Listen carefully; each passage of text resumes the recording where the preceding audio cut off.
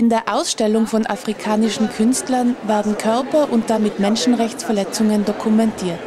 Afrikanische Frauen nehmen die Beschneidung ihrer Genitalien in Kauf, um in ihrer von Armut und Patriarchat geprägten Welt nicht sozial ausgegrenzt zu werden. Erreicht werden soll, dass sich die Frauen in aller Welt mit mehr Selbstbewusstsein gegen jede Art von Gewalt zur Wehr setzen. Bei der Eröffnung sendete Boris Deary ihre eigenwillig selbstbewusste Botschaft an das leicht irritierte Tiroler Publikum.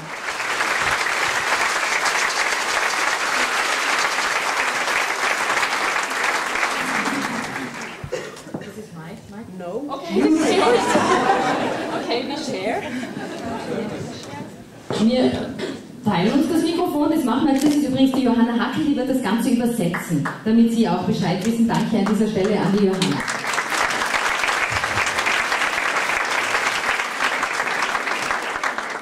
Die Varus Theory hat den Erzbischof Romero-Preis in Wien bekommen, meine Damen und Herren, und die katholische Männerbewegung, die hat das natürlich sehr, sehr gefreut. Die Frage ist, warum glaubt Varus Theory unterstützt die Männerbewegung sie?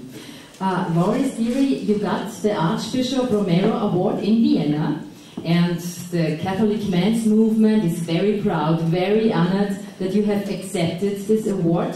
What do you think why is there a men's organization um, that supports your fight? Well, first of all, I have to accept it, right? Give it to me.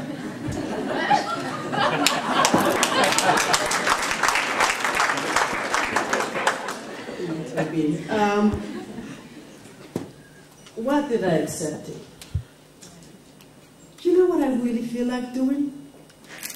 I really would like to stand here and get off this stage. Okay. And I would like to talk. Okay, that's great. That's great. And I, and I give you What about, Johanna? Johanna too? They, you understand English? That's the problem. Anybody who don't understand, put your hand up. Go away. Go